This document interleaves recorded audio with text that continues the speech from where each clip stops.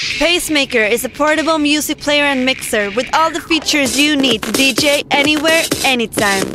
The pocket-sized DJ system gives you full control of your mixing right in the palm of your hand. This is DJ Leanne, and you are watching DJ Vibe TV. Coming up this week in DJ 101, we're hanging out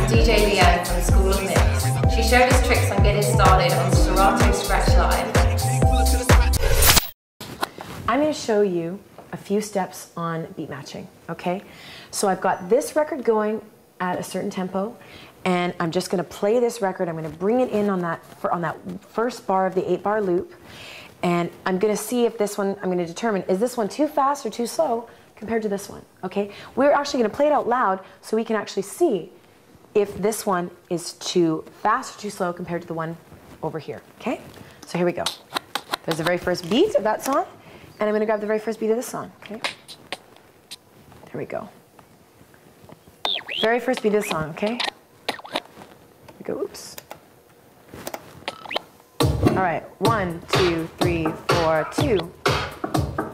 Three, two, three, four, four. You always want to count in this eight bars. Three, four, four. Eight, two, three, four.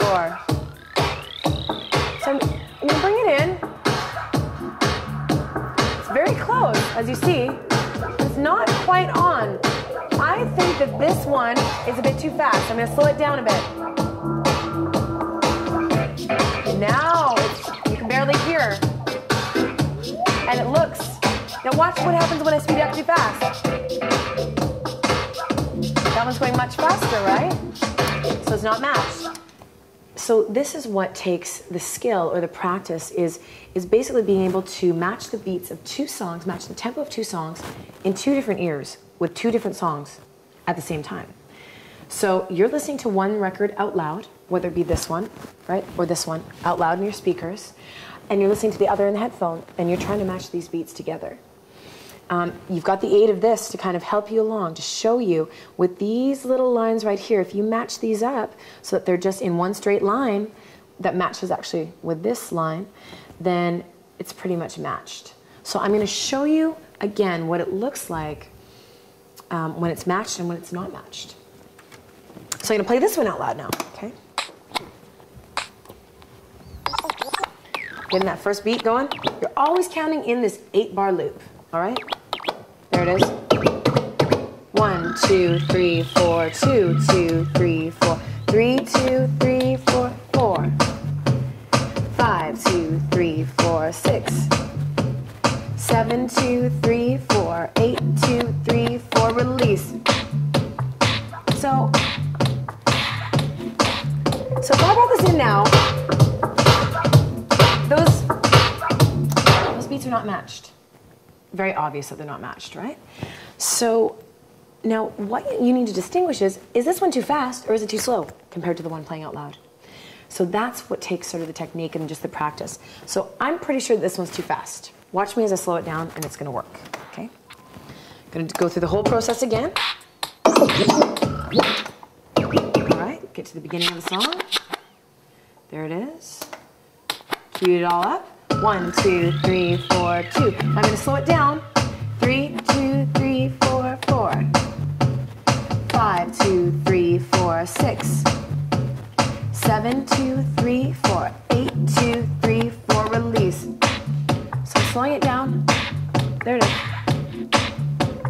A little bit of tweaking. Can you see that? That's it. Now listen.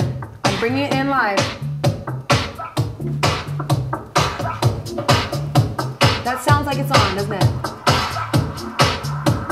That's when the smiles come along.